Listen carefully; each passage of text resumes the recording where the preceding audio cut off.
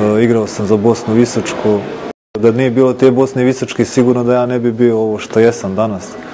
I što sam napravio postoje te Bosne Visočke. Ipak to je bio jedan veliki korak u mojoj futbalskoj karijeri i sigurno da sam ja e, zahvalan Visokom i sigurno da se u najboljim svijetu sjećam e, grada Visokom malo imam vremena slobodnog, volio bi sigurno da dođem u visoko i da posjetim sve one, sve one ljude i da, i da se vidim s njima s kojim sam igrao, s kojim sam se družio kad sam bio u visokom.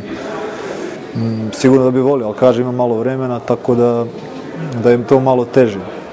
Da, mnogo mi je žao, stvarno mi je žao što nisam mogao da budem na, na, da budem taj dan u visokom, kad su bili svi ti momci koji su igrali za Bosnu Visočku, te sve legende kluba i žao mi kažem, imao sam finale kupa, tako da nisam mogao da, da dođem, ali ovaj, bit će vremena da ću doći visoko sigurno, želim da dođem i želim da dođem kad bude otvaranje to, tog terena sa umjetnom travom, za tu, tog terena koji je potreban visokom, to, to je djeci visokog, mladosti visokog, da, da mogu da treniraju normalno, da imaju uslove, ta djeca za, za normalan, normalan trening sigurno da je to da je to velika stvar za visoko.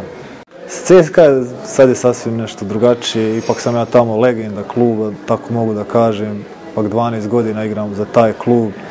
Što ste rekli, osvojio, osvojio sam sve što se može s tim klubom, ljudi me cijene, vole, tako da produžiti ugovor nije bilo nikakvih problema.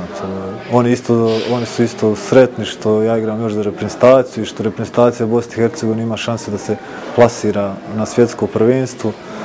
Ja sam im rekao samo da mi je to želja da igram na svjetskom prvenstvu. Oni su rekli ako je to vaša želja, onda je to i naša želja, naše kluba, predsjednika i svih ljudi u klubu. Oni me podržavaju i žele sigurno da, da igram na svjetskom prvenstvu i oni isto navijaju za Bosnu i Hercegovinu.